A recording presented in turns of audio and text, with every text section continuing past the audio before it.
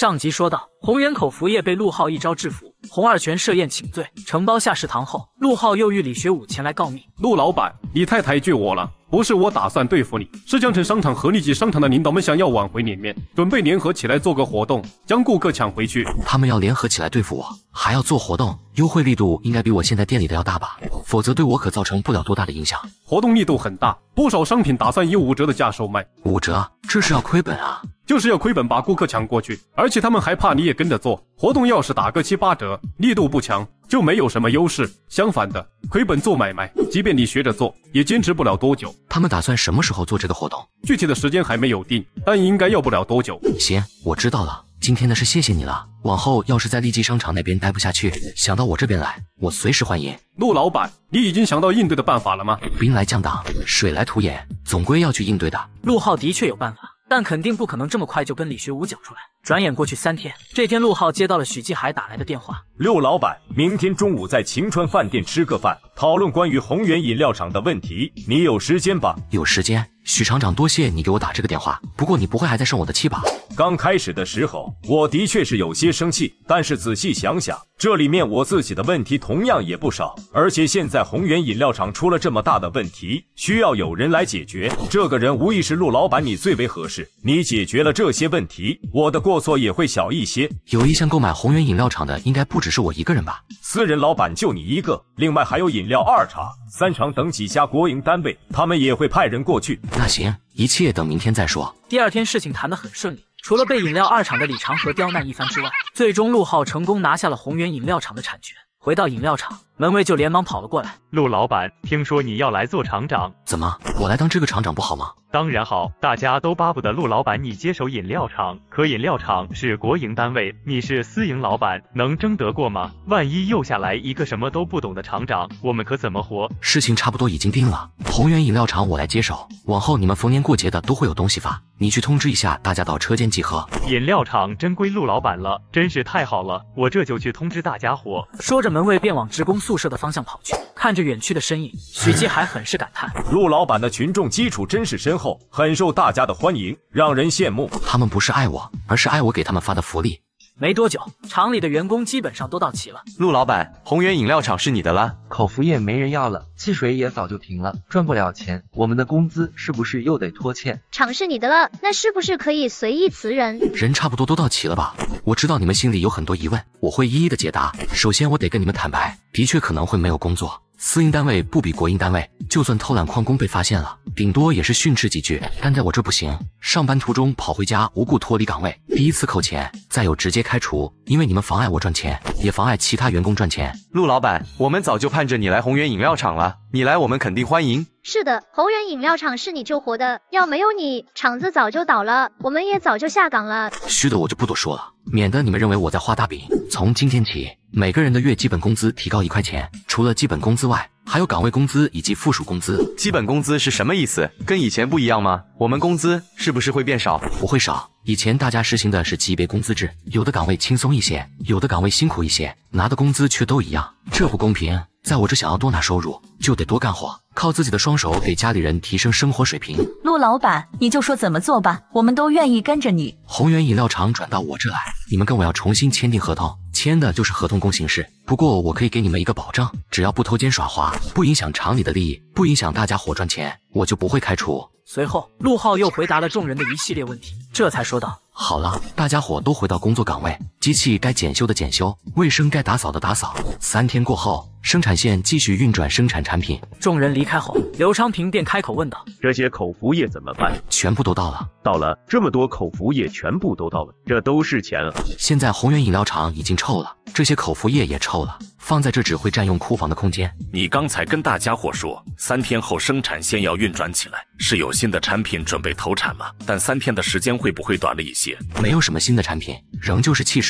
进口的那几套设备正好能够用得上，还是生产汽水。可是宏源饮料厂已经臭了，无论是口服液还是汽水，恐怕都没有人要。厂名可以改，以后就不叫宏源饮料厂了，改叫万家饮料厂。宏远这两个字的确臭了，不过跟万家又没有什么关系。哦，这倒是个好主意，也的确能这么做。不过汽水停产了一段时间，现在又重新生产，想要打开局面，怕是要会付出很长的时间和努力。爸，小景这周回来吗？嗯。他这周是要回来的。汽水的事还得要麻烦他帮帮忙。虽然咱们现在有好几处销售渠道，但在口碑上并没有什么特别的优势，所以还得是从广告上面入手。从广告上面入手找小景有什么用？是找他帮忙出主意吗？等到时候就知道了。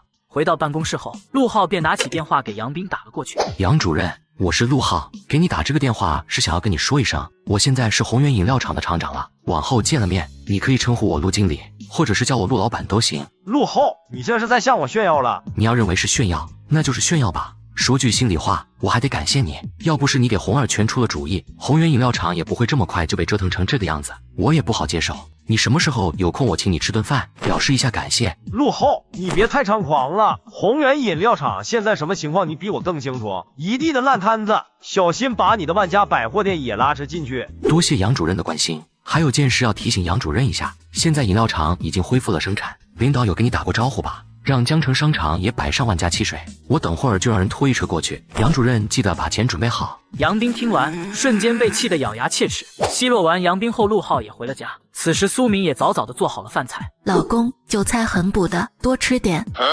老婆，这是在暗示我吗？你对我是不是有什么不满意的地方？嗯，没有啊，我对你很满意。现在生活条件比之前要好多了。那你还让我多吃韭菜，你这举动很难不让人多想啊。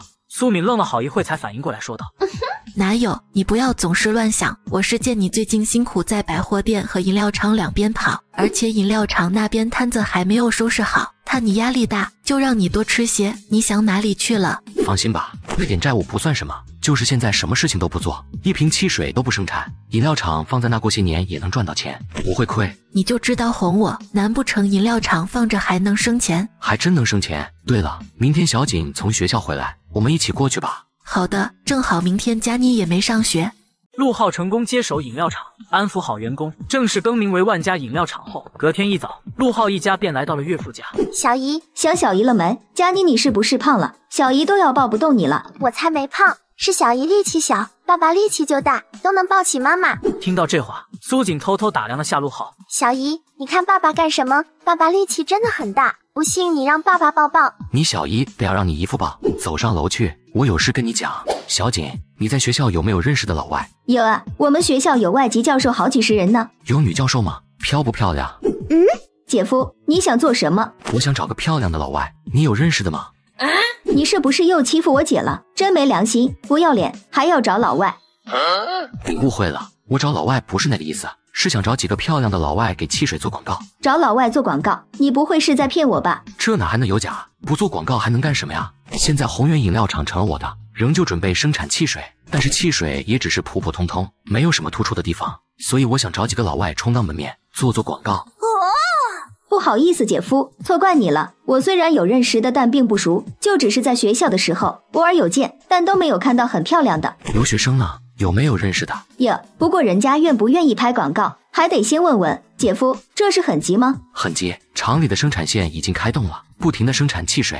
如果销量跟不上，资金就会出现困难，拖欠的款项还不上，而且积压的汽水也没地方放。行，那我现在就去学校。下午，陆浩又给女记者胡凤打去了电话。胡姐，有时间吗？我打算做广告，在电视台和报纸上给万家汽水打广告。做广告当然没有问题，这是在给江城电视台创收。你什么时候过来？我带你去见广告部的同志商量这事。我打算在省内销量前十的报纸上都做广告，而且要连续做三个月。另外，在电视台上也要做广告，不止江城电视台，还要在省电视台上也做。好的，没问题。第二天，陆浩就接到苏锦的电话，事情成了。接上两人后，便直接来到了江城电视台。几天后，江城的大街小巷便出现了万家汽水的广告。万家汽水老外都说好，而此时超市内万家汽水也开始畅销。咦，这里的汽水怎么换了牌子？我之前记得是宏远汽水，怎么现在不一样了？还真是，包装上的这人还是个老外。这老外长得真稀罕，金发碧眼的。连老外都给这个汽水做广告，买几瓶回去尝尝。很快，货架上的汽水就销售一空。志刚，你马上让人再去万家饮料厂那边多拖一些万家汽水过来，存到百货店的库房里。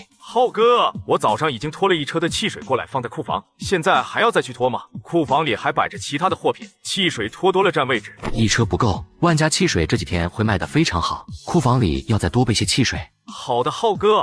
安排好百货店的工作后，此时新房的装修也已经完工。老公，新房子感觉空空的，我们要不要再去置办一些家具啊？等周日佳妮放假了，咱们一起去友谊商店转一转吧。友谊商店这地方不是只有外国人才能进去吗？我先前还去过那地方，外面有栅栏围着，只要外国人还有华侨进去，普通人进不去的。现在不一样了，有参观票就能进去，里面有不少好东西，像是市面上难得见到的工艺品，还有进口的香水、洋酒以及巧克力。什么是香水？还有参观票不好弄吧？比较难弄，大多是一些机关单位，还有一些国营大厂才能弄得到。不过对我来说不是什么难事。至于香水吗？你可以将它当成是一种花露水。被你说的，我也想进去瞧一瞧，见识见识。带着苏敏看完新房后，下午陆浩便又来到了百货店。此时报纸上的广告信息引起了他的注意。江城商场联合众多国营单位回馈江城市民进店就享受五折优惠。我的经验全被这帮家伙给学去了。这帮人做别的事情不行，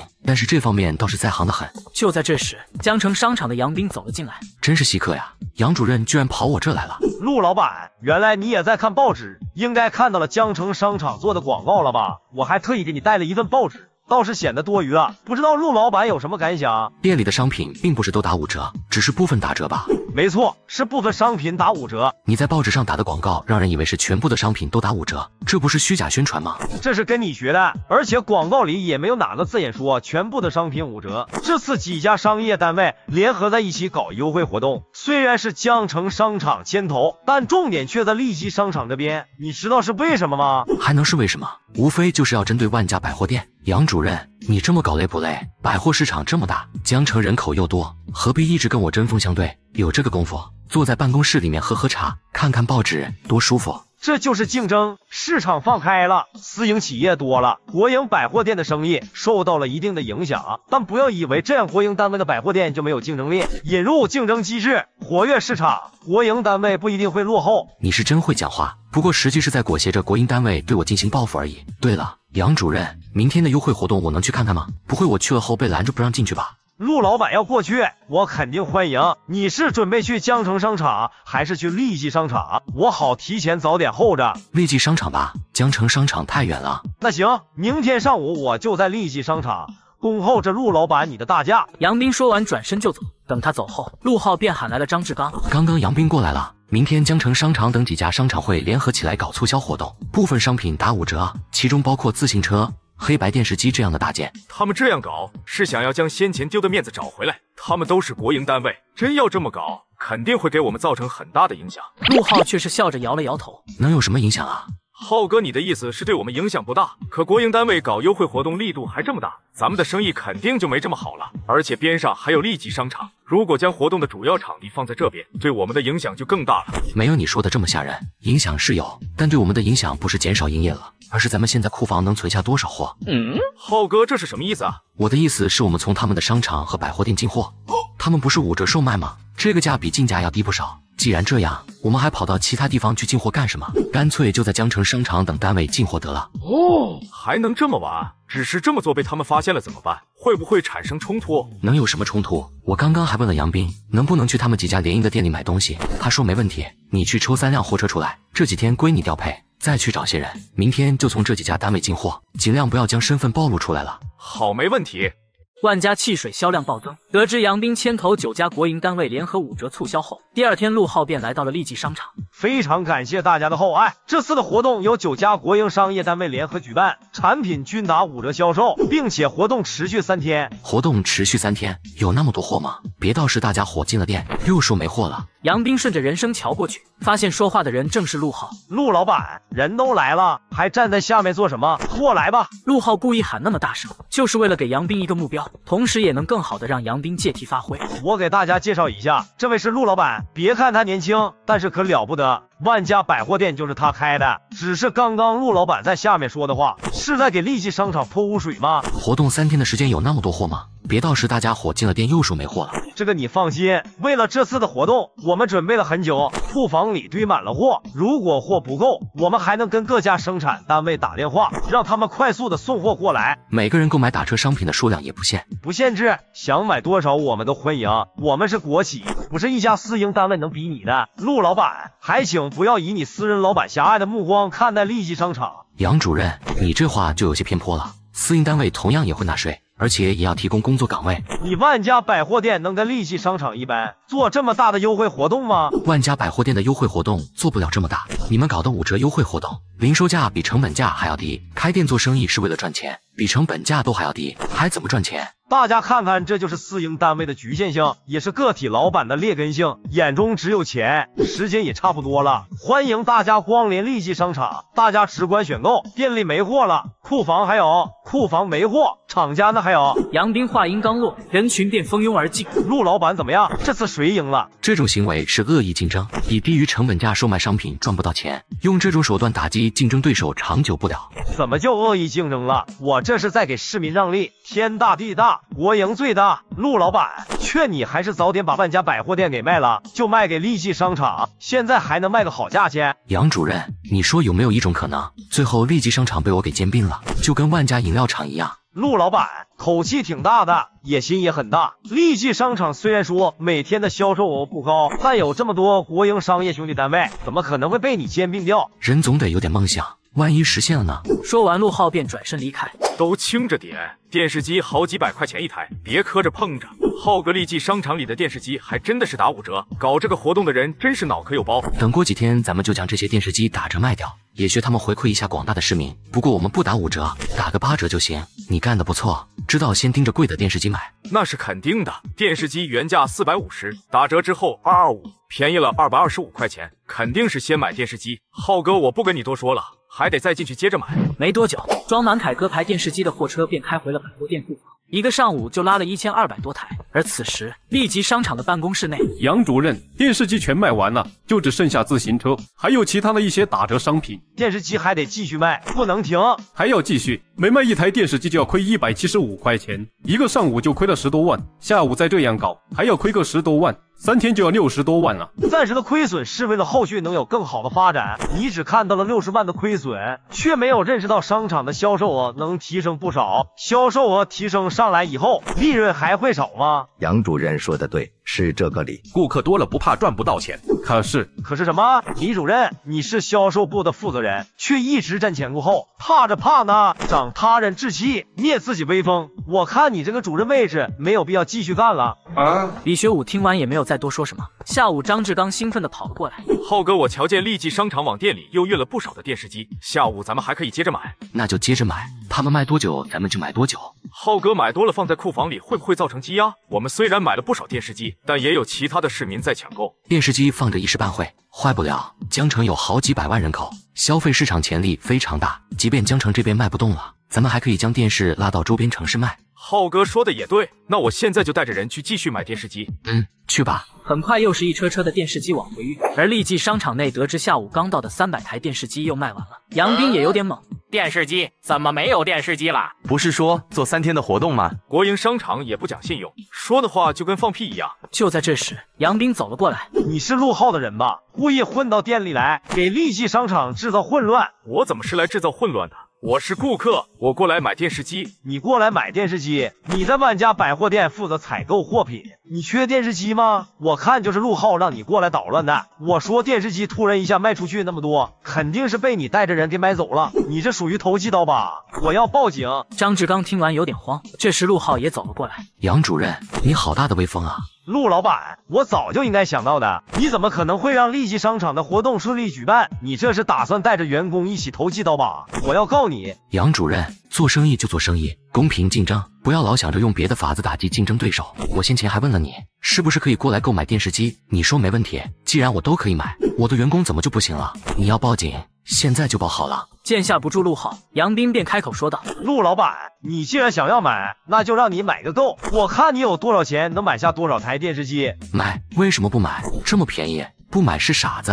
你卖多少天，我就买多少天。行，我马上就打电话，让人运更多的电视机过来。我倒想看看你是不是会继续买。”接下来的几天，立即商场不停调货，而陆浩也不停的进货。陆老板，你的胃口真是好，你购买了得有一万台电视机吧？具体数目还得回去算算才知道。杨主任，谢谢你，这次的活动我很喜欢。一万台电机，哪怕是打折过后的也要二百多万，这么多资金被卡在了电视机上，你还有钱做别的事吗？没事，过两天我也准备做个活动，电视机八折销售。杨斌听完顿时就怒了，你这是把江城商场等单位当做进货渠道？算是吧，毕竟从沪市那边运过来要费不少时间，而且每台进价要四百来块，当然是选择在便宜的地方进货。陆老板，那咱们就走着瞧。不妨再告诉你一件事情，利济商场很快就会兼并桥口区的一些国营商业单位，到时候你店里的生意肯定会受到直接影响。三天的时间亏损了近六十万，至少需要半年的时间才能赚回来。先把这亏空填补上，再谈兼并和扩建的事吧。这次活动的责任你逃脱不掉的。说完，陆浩便转身离开。这次我们总共买了多少电视机？总计购买了八千二百二十九台。这么多台电视机一时半会怕是卖不完。办法我已经想好了，咱们搞一个家电下乡的活动，免费给江城各个村以及贫困的职工家庭发一台黑白电视机。嗯，浩哥，这么多电视送出去，成本会不会太大了？不需要全部送，我们以二百二十五块钱的价格买了八千二百二十九台电视机，费用是一百八十五万左右，需要卖五千一百三十八台电视机才能保本，剩下的三千零九十一台电视机卖一台赚一台，我们拿三千台出来搞家电下乡活动。哦，这么大的活动，得邀请记者过来采访做宣传吧？记者是其次，主要得将供销社、市商委、房地产管理局以及轻工系统的领导都请过来，跟这几家单位一起搞这次的家电下乡活动。可是这么做咱们就赚不到钱了。放弃眼前的小利。是为了获得更加长远的大利，真要全部都卖出去，赚下这一百多万，一定会引起上面的不满。既然如此，咱们就主动把这块肉拿出来，利用这次的活动，跟这几家部门站在一起，给咱们私营单位镀上一层金边。三千台电视机免费送，这本身就是善举，肯定能获得很大的名声。好了，大家都打起精神。石雄，你去找印刷厂，让他们派人过来。在电视机的外壳上印上万家百货店赠的字样。好的，浩哥。志刚，你去联系给咱们供货的厂家，让他们生产更多的产品。这次的活动过后，万家百货店的生意会更上一层楼。立即商场价促销，陆浩直接买空。举办完家电下乡活动后，各大媒体纷纷报道，而百货店生意又引来了新的爆发。万家百货店真有良心呐，送了三千台电视机。是啊，昨天的新闻我也看了，免费送，一分钱都不要。就是，我也觉得万家百货店好。利济商城那边虽然打五折，但售货员脾气差得很，好像欠了他钱似的。而陆浩这时也走了过来，顿时有人疑惑的问道：“你是万家百货店的老板吧？”“我是万家百货店的老板，多谢各位叔叔婶婶过来光顾万家百货店。”“还真是，老板，你人是真好啊！昨晚在电视上看到你，我激动的睡不着觉。”真是良心老板呐！送了那么多台电视机，你还能赚到钱吗？谢谢大家的支持，我很感动。虽然所有的电视机总价值将近一百五十万，这笔钱对我来说也不是小数目，但我不心疼。赚那么多钱干嘛？取之于民，用之于民。你们到我这购物，让我赚到了钱，我再拿钱出来买电视机捐出去，不就等于是你们捐赠的吗？众人听完陆浩讲的话，一个个都非常激动的往店里走去。而另一边，立即商场的王经理直接对杨斌吼道：“杨主任，我被你害惨了，当初就不该听你的话，亏了几十万，让立即商场雪上加霜，现在店里的生意更加恶劣，我怕是会被问责。”王经理。事情发展成现在这样，也是我没有预料到的。我同样还不是会被问责。杨主任，那你还有没有什么法子能救利济商场？我哪里还有办法？市里都对陆浩进行了支持，有意扶持私营单位、个体老板。我是利济商场的经理，是第一责任人，怎么将自己身上的责任降到最低？将责任分担出去。你是第一责任人，肯定要承担一定的责任，但不一定是主要责任。王经理眼珠一转，你的意思是让李学武揽下主要的责任吗？怎么能说是揽责？他是销售部的主任，这个责任当然得要由他来承担。好主意，等会就将所有的领导喊过来开个会。下午，陆浩刚到办公室，李学武便找上门来。怎么了？被立即商场当成替罪羊了？是的，被杨斌给算计了，让我出来顶责。我销售部主任的职位被撤了。那你接下来有什么打算？是忍辱负重，继续在利济商场待着，还是东山再起？还怎么东山再起？这么大的屎盆子扣在头上，继续在你商场干活，就只能被人嘲笑。而且看利济商场多半也存在不了多久了。有没有兴趣跟到我干？这边正好还缺一个营运部的负责人，地位就跟石雄、张志刚他们一样。陆老板这么做，你店里的员工会不会有意见？他们的思想工作我去做。陆老板，那我辞工过来跟着你。那行，你那边办理好手续就到我这来。两人又闲聊了一会，李学武着急办理辞工事情，便离开了。随后，张志刚就跑了进来。浩哥，有外事的人找到我这来，说想要批发购买咱们的黑白电视机。他们想找批发吗？报的什么价？三百五十块钱一台，他们自己用车拖回去。行，卖给他们，毕竟是电器产品，容易坏。不过钱必须一次结清。放心，这点我肯定会小心。对了，听说你打算招利济商场的李学武到咱们这边来？陆浩点了点头。浩哥，我先表明态度，我绝对不反对你招人。可利济商城就是因为他们才经营不下去，此时用这样的人会不会不太好？招他进来主要是负责营运部，你主要是采购部的，不会和你之间产生冲突的。你误会我的意思了，不是怕他抢了我的位置，我只是怕他过来影响店里的发展。你就是怕他抢了你的位置，有这个担心是正常的。但是我更愿意听你大方的讲出来，从而采取你们的建议。听到这话，张志刚心里一阵舒坦。浩哥真是大度，你们的不满表达了，建议提了，但采不采用得由我来定。我是老板，我说了算。张志刚瞬间呆滞，温柔过后是钻心的痛。两天的时间一晃过，万家百货店的生意最终突破了五百万大关。李学武也正式入职，而张志刚、石雄等几人升职成各自的部门经理。下午，王国胜打电话过来，恭喜陆老板，家电下乡这个活动影响很大，很多人甚至还要到江城这边来学习交流。对了，这次找你主要是说说利济商场的事。经过这次折腾，利济商城的每天营业额严重下跌，再这样下去，倒闭是迟早的事。那着实有点可惜了。利济商场我去瞧过，面积跟万家差不多大，各方面都挺不错的。你这边有没有想要拿下利济商场的打算？利济商场如果经营不下去，我可以接手，里面的职工大部分我也可以接手过来。也只有你回答这么爽快。不过你真想要立即商场，恐怕还要多提供一些就业岗位，用来安置更多的国营单位职工。是有其他的国营单位经营不下去了，要将职工放到我这边来吗？是的，这个问题你要解决，拿下利济商场能占很大的优势。没问题。利济商场这块地，陆浩势在必得，甚至连名字都想好了，扩建后就叫万家广场。第二天，陆浩来到了市中医院。陆老板，你怎么又来了？于神医，我不舒服，过来看病的。陆老板，有什么事情就直接说了吧。于神医，我是想邀请您到我那工作去。嗯，我一个老中医过去能干什么？难不成让我在百货店开个医务室？您老误会了，我想邀请你去万家饮料厂。你打算做保健品吗？虽然这个赚钱，但这个钱我不赚。我想让您过来帮着我研究符合国人身体生长需求，同时又符合他们口味的产品。这两者之间有区别吗？肯定有区别。于老，不知您有没有听说过牛奶计划？于是启摇了摇头。我想让于老您过来是做含乳饮料。里面含有很多对人体有益的元素，名字我都想好了，就叫 A B 钙奶。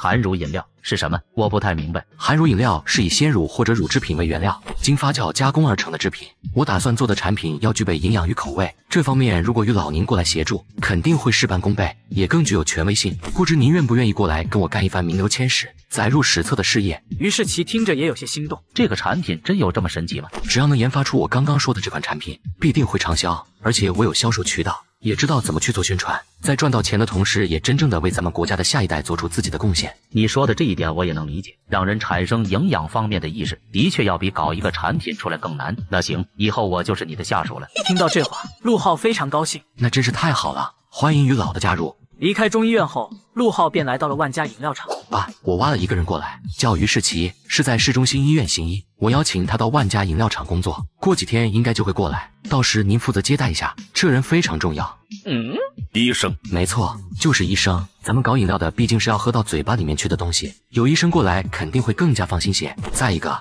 现在也还只有汽水一款产品，这是不行的。还得要开发出新的产品，你是不是已经有了计划？陆浩点了点头。我就说，要是没有计划，肯定不会做出这样的举动。一款产品的确是单薄了些。事情交代完，两人便离开。没过多久，黄明华就跑了过来。浩哥，各个区订购汽水比较多的单位和人员名单我列了出来，你给我过目。陆浩接过名单后，黄明华继续说道：“最上面的这几个我都去找他们谈过，他们都愿意按照我们出的条件来做。”那行，你把他们都约出来吃个饭，聊聊具体的合作细节。没问题，那就将吃饭的时间排在明天中午吧。可以，地点就在红二全经营的食堂，还能就近在厂里面转一转。咱们现在需要更多的经销商将产品尽快的铺开，所以对这些人该客气的时候还是要客气些。浩哥放心，我肯定会小心应对，把他们供起来，这样才能赚到钱。嗯，你下去安排吧。第二天，陆浩便接待了名单上的几位经销商。陆老板真是闻名不如远见啊，真是年轻。就是家电下乡的活动室里也多次表彰，能跟陆老板这样的人合作，也是我们的荣幸啊。能与各位合作也是我的荣幸，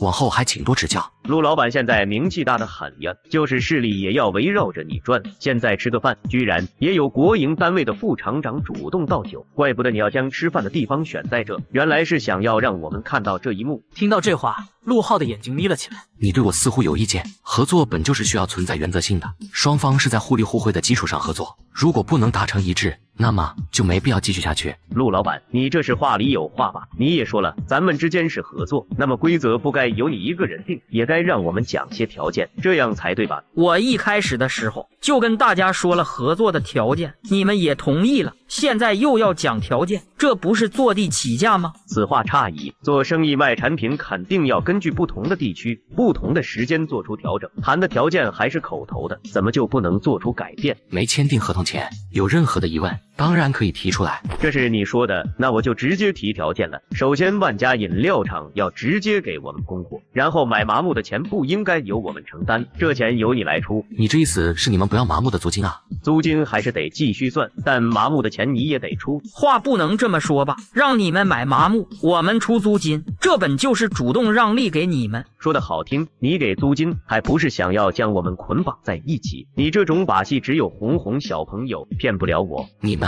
也都是这么认为的吗？陆老板，我知道你让利也是为了我们好，但我们也有我们的难处。沉默片刻后，陆浩开口说道：“吃饭吧，菜都凉了。”嗯。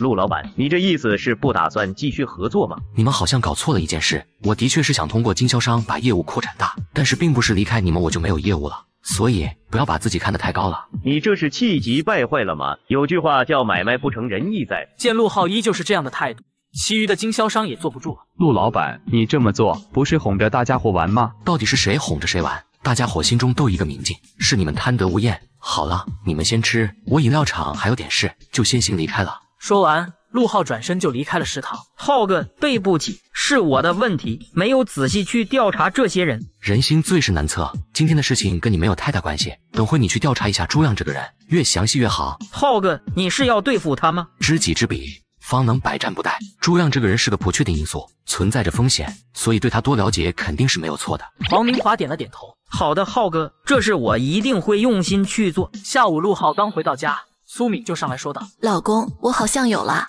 中医院成功招揽于市井，经销商饭局不欢而散。得知苏敏怀孕后，第二天来到市医院检查确认后，高兴的回了家。老公现在都在提倡一胎制，我们生两个会不会惹麻烦？没关系，咱们又不在国营单位上班，顶多就罚一些钱。我是要有弟弟了吗？妈妈，你的肚子怎么没有鼓起来？还早呢，不过你得要注意着点，不要让妈妈跌倒了，也不要碰到妈妈肚子。我知道，我会小心的，也会保护好妈妈。老婆，后面你就不要来超市帮忙了，就在家里好好的休息。没那么娇贵，怀孕了还应该多走一走，多活动活动。当时怀佳妮的时候就是这样的，放心吧，我有经验的。下午，陆浩来到饮料厂，黄明华带着和朱亮同村的朱克庆来到了办公室，两人足足聊了三个小时。陆浩得到了想要的信息后，便提出给对方安排工作。很快，陆浩通过李广才的介绍，来到了徐家棚粮店。李主任来了，副主任，我给你介绍一下，这位就是陆浩，陆老板。边上这位是黄明华，陆老板的得力干将，负责汽水的销售。这位是朱可庆，还有他儿子朱海峰，他俩都是附近的居民。房子拆迁了，按照政策，负责拆迁的单位是要负责给他们安排工作。但现在的情况却是工作很难找，所以就找到了你这里。而福志祥早已得到了通知，便笑着说道：“店里人手的确不足，李主任真是帮着店里解决了大麻烦。瞌睡遇到了枕头啊。”福主任，粮店这边都还有哪些岗位缺人？海峰是个好小伙，一定要用在重要的地方，让他为粮店多做贡献。徐家棚粮店现在的岗位有票证员、出纳员、司成员。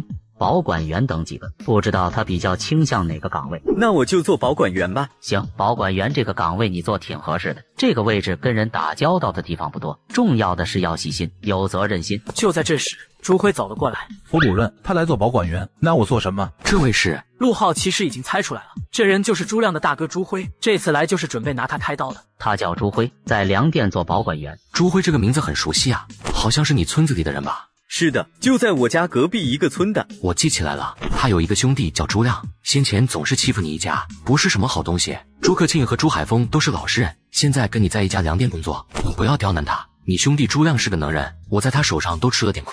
说完，便跟福志祥打了声招呼就离开了。这时，朱辉才上前问道：“朱海峰，刚刚那几个人和你是什么关系啊？没什么关系，不可能吧？真要没关系，他们能开车将你送到粮店来，就是工作岗位也任由你挑。真的没有关系，是陆老板心善，所以才给我找了这样一份工作。以前咱们两家有些矛盾，但现在我俩在一家粮店工作，这也算是缘分。过去的事就让它过去了吧。你说的倒是轻巧，要是你受了欺负，还会说这个话吗？别以为我不知道，你是怕了陆陆老板才会。变得这么客气，我可以告诉你，要我放下可以，那必须是陆老板跟我说，我才会放下，不然想都别想。说完，父子二人便转身离开。晚上下班后，朱辉便找到朱亮。老三出事了，今天粮店那边招了一个人。我早就跟你说过，让你不要去粮店工作，好好的生意不做，跑到一个粮店去做保管员。看看我现在生意是越做越大了。做生意有赚有亏的时候，而且很容易得罪人。咱们又没有靠山，找个安稳的工作，旱涝保收才是。你胆子太小了，赚钱怕的罪人，哪还做什么事儿？你知道今天被招到粮店的人是谁吗？是朱海峰。朱海峰，他那个憨皮，应该是招过去做临时工的吧？不是的，他是固定工。怎么可能是？咱们隔壁的那个朱海峰吗？我亲眼见到的，有个叫陆浩的人带他过去的。你跟陆浩是不是有过节？什么陆浩？